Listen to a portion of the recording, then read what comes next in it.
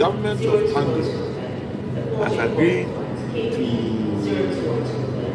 take those of you who will be prepared to transfer to universities or to continue your education in Hungary. And they are prepared to match whatever facilities, whatever uh, financial assistance or financial fees that you will pay in Hungary. So there's a window of opportunity and a window of hope all is not lost, even though uh, I will never, nobody will wish that you go through what you went through.